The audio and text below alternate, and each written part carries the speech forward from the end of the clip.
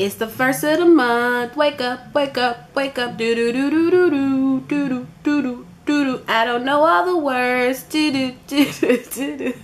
Boom, boom, boom, boom, boom, boom, boom, boom.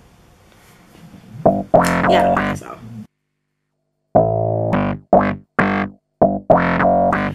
What's up, you guys? I'm back with another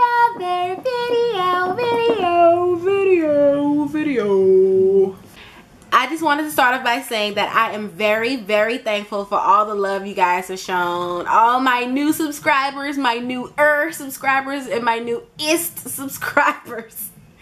I love you guys. I do. I appreciate all your comments and and and your comments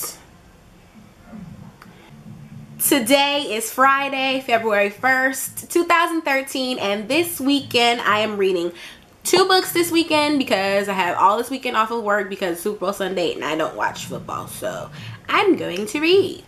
Y'all can't see this cover, but this is Columbine, and I'm still reading this. I've been reading this book for a while, but you guys, this book is so good. Everything that you thought that you knew about Columbine, you didn't. You didn't. Read the book. Read the book, you guys. Read it. The second book I'm reading this weekend is Daughter of Smoke and Bone by Laini Taylor.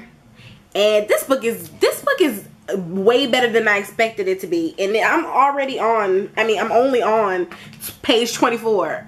And I'm like, okay, okay. So yeah, that's what I'll be reading this weekend, you guys. If you have any questions, comments, or concerns, leave them down below in my belly. And I'll see you guys later.